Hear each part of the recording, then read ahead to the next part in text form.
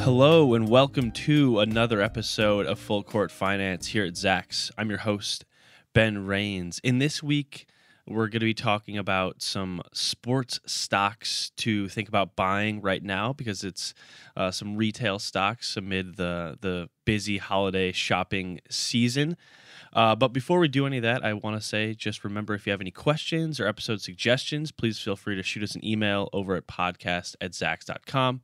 And then make sure to subscribe wherever you are listening to this podcast. Uh, so, before we get into the specific sports related retail stocks to think about buying uh, right now, I want to do a little bit of a retail overview as a whole with some uh, holiday shopping estimates and then kind of where the retailers stand amid Q3 earnings season.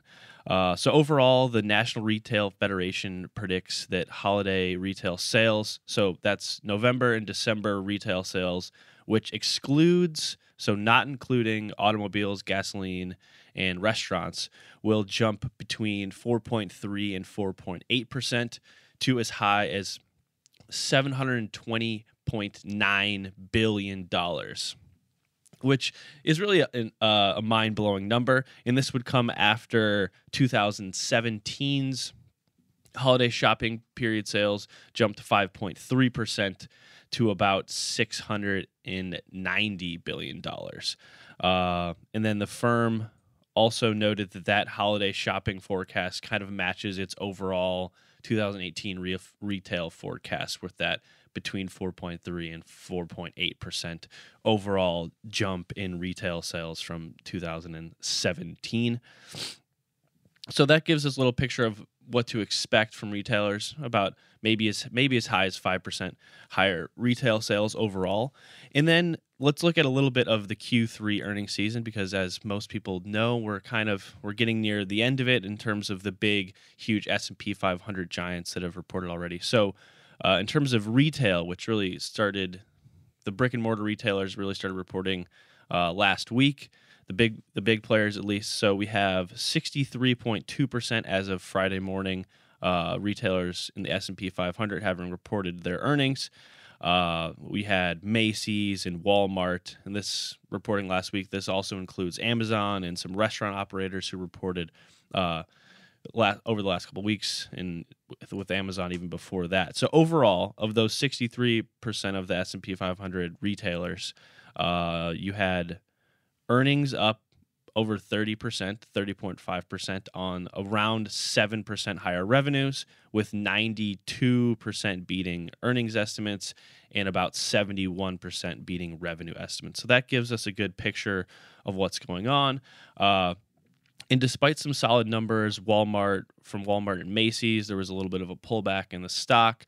Uh, so that could be what to expect maybe from Target and players like Kohl's and other companies who are reporting their earnings later this week. But with that said, there are some retail stocks that are going up recently and that kind of fit with this uh, this trend of some sports retail stocks to consider at the moment amid this holiday shopping season craze because with Thanksgiving this week and Black Friday, it's shopping's on the the front of everyone's mind. In one that we're going to start with fits with this cold weather that is happening to at least a lot of us.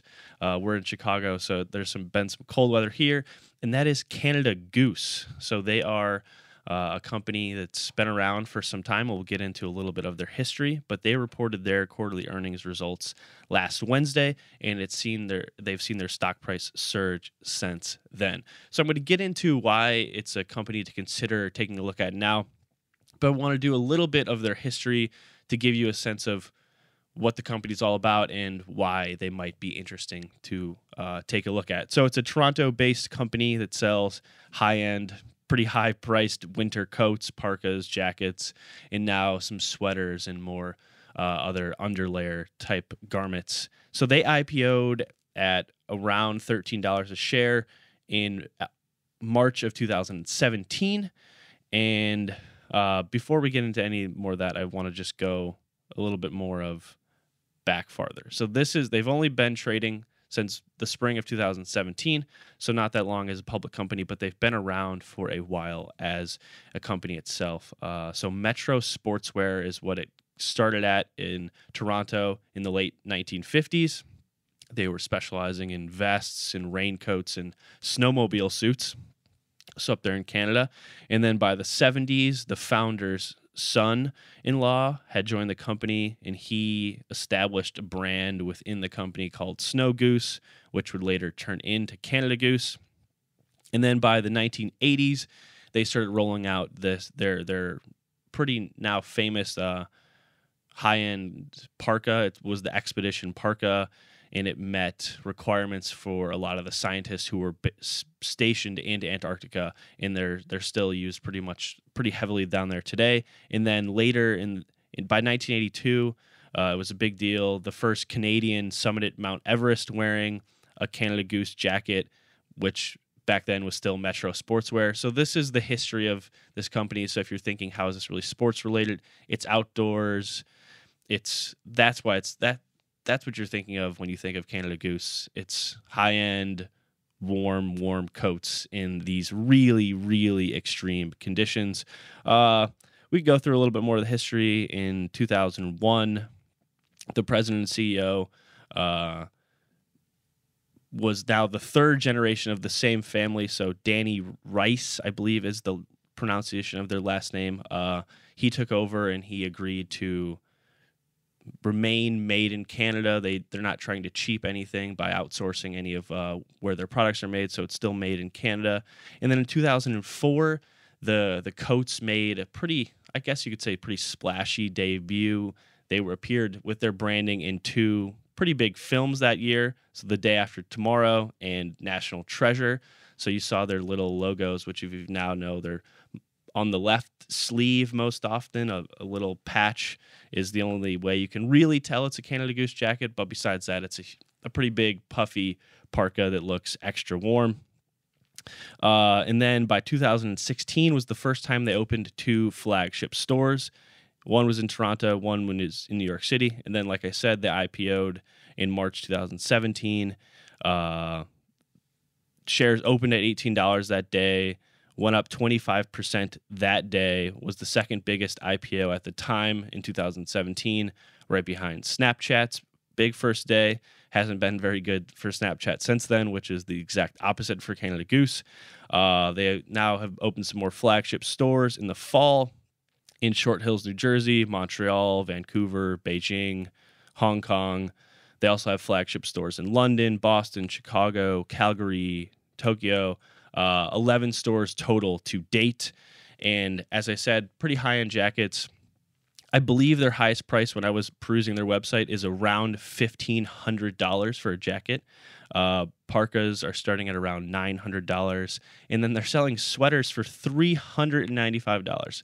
So these are very high end places. Uh, and what's interesting is that now at a lot of the, some of their new shops, their big flagship stores, they have cold rooms where it can go down to minus 13 degrees Fahrenheit, where you can actually try these jackets on.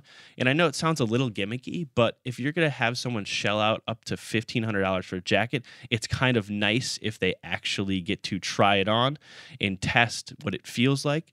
Uh, because for a lot of people that aren't used to the cold, or you just kind of assume you can't get warm, if you if you wear a really nice jacket, you can get pretty warm, and I think that really is their their selling point. Uh, because and I've actually mentioned this to people before because some people I know don't really understand the whole craze. Uh, we've talked about even in this office before about why someone would spend so much money on a jacket, but people spend a lot of money on really goofy things that are way less practical than a winter coat that could last you at least a decade and actually keep you warm if you live in say a city like Chicago or Boston or really any city uh, that has a winter. It, spending fifteen hundred dollars over an extended it's not like you wear it once you could have it like i said for a long time so in terms of their their business it is a business that doesn't seem like it has uh an end in sight it's not a it's i guess you could say it's a fad like anything but the coats themselves have been around for a long time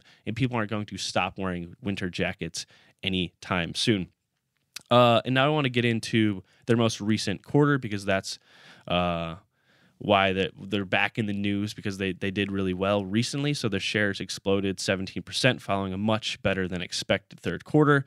Total revenues increased just under 34% to 230 million Canadian dollars, roughly 176 million US dollars. It uh, topped our estimates. Their shares also, or their earnings per share came in at 35 cents per share, beat our 19 cents per share estimate, was up over 50% from the year ago period. So that is a good uh, thing to notice there. Their wholesale revenue was up about 18%, which is good because that's where a lot of their revenue is still coming from. And then another good sign, which is what's going on with these flagship stores and e commerce push, their direct consumer sales were up 150%. Uh, from 20 million to 50 million, and that was in Canadian dollars. So they're reporting their number in Canadian dollars. Anytime I mention it without US dollars, it's going to be Canadian dollars. Uh, and then they said that specifically their department store sales were up, their online sales were up, and their standalone store sales were up. So that's their direct consumer revenue. And they're currently a Zacks ranked number one right now, which is number one strong buy, and it's headed into their biggest season, which is the winter quarter. Uh, so their shares closed Friday at around $70 per share, down slightly from their recent all time high, which was uh, $72.27. And the stock price is up 306% since going public uh, in March of 2017. Now, I want to look at a little bit of their estimates looking ahead. So, for their current quarter, our Zacks consensus estimates has their revenues climbing about 25%. And then for the full year, we have them climbing about 21%, with their revenue for the or their earnings for the quarter expected to climb about 35%, and then 35% for the year. Uh, but we should note that Canada Goose itself lifted its full year sales growth guidance to be up at least 30% from their previous 20% range. So those numbers can change once more analysts come in and uh, change their estimates based on Canada Goose's actual guidance itself. Uh, and just for reference, total fiscal 2018 revenue, because they're currently in fiscal 2019, that revenue in the year ago was up around 46%. So that's that's the range they're going in now they're going to say they're hoping to be up 30%. This year, so it's a it's a company definitely to pay attention to. Uh, they're growing their wholesale business. They're expanding into the greater China area. They're also currently investing a lot of money in their business themselves while still becoming a little bit more profitable, which is good to see. And as I said before, uh, the idea that people actually use these coats in Antarctica, uh, film crews all over the world in cold weather settings wear these jackets. Uh, people use them on Iditarod races in Alaska, dog sled races. These are real warm jackets that do have an actual purpose. I know the price is really expensive, but you, I'm I don't own one. Uh, but you're getting what you're paying for, where, and it's going to last you at least some time. So this is not as much of a fad as say some other uh, retail stocks might be, but it's definitely one to consider. Like I said, and then we're going to quickly move on to another retail stock that might be a little bit of a fad, but it's it's one to consider at the moment. Kind of ride this wave of some positive momentum this stock has, and that is Crocs, and that's Crocs, the company. Yes, that slip-on rubber rubber slip-ons loved by some kids, and now it seems like teenagers. It trades under the ticker CROX. Uh, and they released their Q3 earnings on November 8th. Their shares jumped 27% in one day. So big, big numbers from them. Uh, their third quarter revenues topped uh, our estimates 200 or 206 million oh 261 million sorry excuse me. Uh 261 million versus our estimate of 246 million. Their clog revenue which is that sounds even goofy to say uh, which is about half of the company's total revenue was up 13% the shoemaker itself pointed to some uh, initiatives they've done to kind of build some brand buzz. They've done some promotions with uh, a famous rapper who some people might have heard of. I I actually saw this on Twitter. I feel like a uh, couple weeks ago that this was happening. Uh, Post Malone, really famous young rapper with uh, younger people. He has a shoe he designed with Crocs. I guess it's sold out in 10 minutes. So they're they're getting this teen buzz.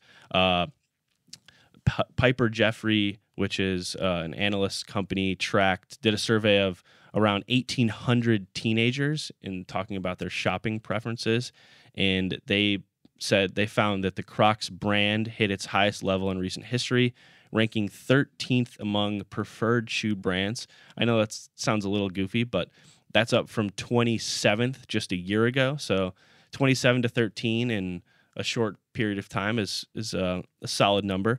Uh, and it's also interesting because Crocs over the summer there was a rumor that the company was going to shut down or at least uh, not start slowly phasing out and closing more things because they shut down one of their factories. But now uh, they are just manufacturing through third parties. And like I said, they're coming off a, a solid quarter. The stock the stock is uh, doing really well. Crocs stock is up 156% over the last year, 38% in the last three months. It's currently trading at around $27 per share, which is right below its 52 week high of $28 per share.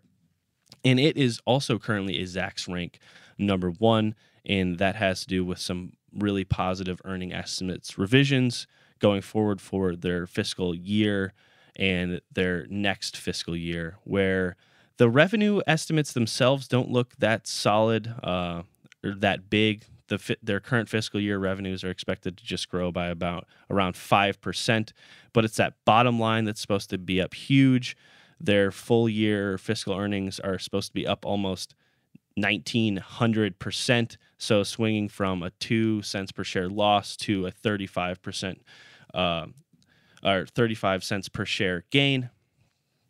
So that's pretty good on the bottom line. And it's it's definitely one to pay attention to and see if it continue riding up.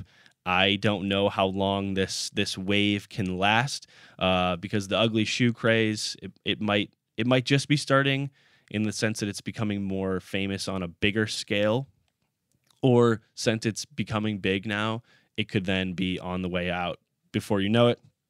So it's definitely one to pay attention to. Uh, it's it's really hot right now, but unlike Canada Goose, who has some real solid, in my opinion, business to to work on for an extended period of time, these parkas are not going to all of a sudden, even if the same people aren't wearing them, they're still going to be warm jackets that people want to wear at a high price point for a long time. Whereas Crocs might kind of be on, oh, we have this young rapper, kids like it for now, but in a year and a half, maybe it's out of style. But we'll see. So definitely pay attention to that one. And then there are some other companies that are currently Zacks ranked number ones that are sports based stocks. Lululemon, we've touched on, that still is Zacks ranked number one. I just look it up. Uh, the stock price is up 209% over the last three years, which is up above Adidas. It's crushing Nike, which is up only 22% over that three year period. And it's crushing Under Armour, which is actually down 50% over the last three years. So Lululemon's one to pay attention to as well. And then we've mentioned uh, on this show before. I've touched on them, and they're still doing pretty well. Columbia Sportswear is a Zacks ranked number two right now, and then Under Armour, which has caught a lot of fire over since uh, November of 2017. Really just jumped up since then. Uh, there is Zacks rank number two, so that's one to think about right now during this holiday shopping season. And then I want to close with just some uh, Thanksgiving weekend holiday stats because these are oddly fascinating. I don't know if it's fascinating to everyone, but they're super fascinating to me because you just realize how many people are at least planning on shopping during this crazy Thanksgiving week. So the National Retail Federation and uh, Prosper Insights Analytics puts out uh, some projections every year, and they're projecting that 164 million people plan on going shopping uh, this Thanksgiving day through Cyber Monday. So 164 million people in the United States plan to go shopping this Thanksgiving week. Uh, this survey showed that roughly 21% of people are, or 34 million, are planning to shop during Thanksgiving Day, which is like more power to you if you want to do that. Uh, and then 41% are expected to shop on Small Business Saturday, which you'll see American Express uh, really promoting that themselves, that they started Small Business Saturday. Uh, maybe that's true. I don't know. Uh, and then 32 per, 32 million or 20% will shop on Sunday, but by far uh, the biggest two days are Cyber Monday with almost 46% or 75 million people expected to search for some online bargains that Monday after Thanksgiving. But still, at this point, I think we can all guess what the biggest shopping day is expected to be, and that is Black Friday, where they're expecting 71% of these people or 116 million Americans are expected to go shopping the day after Thanksgiving. So I know those might not be that fascinating to everyone listening, but I just thought that was mind blowing to think that 116 million people are going to go shopping throughout the United States on one single day. Uh, so this really is a great time for retailers. And as I said, there are a few retailers that are in that sports specific kind of world. You might not think Crocs is the most sports specific, but you know anything you can wear to the beach. We're we're thinking you can wear to and from a, a basketball game as a slip on. We're we're we're gonna say it's a sports related stock, and then definitely Lululemon and Columbia Sportswear and Under Armour as well, some to think about at the moment. But that does it for another episode of Full Court Finance. Until next time, I'm your host, Ben Rains. And remember, if you have any questions, please feel free to shoot us an email over at podcast at zacks.com.